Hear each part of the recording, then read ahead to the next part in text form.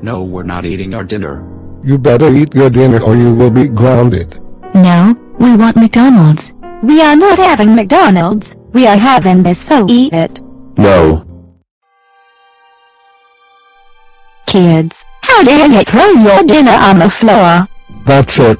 You're grounded, grounded, grounded, grounded.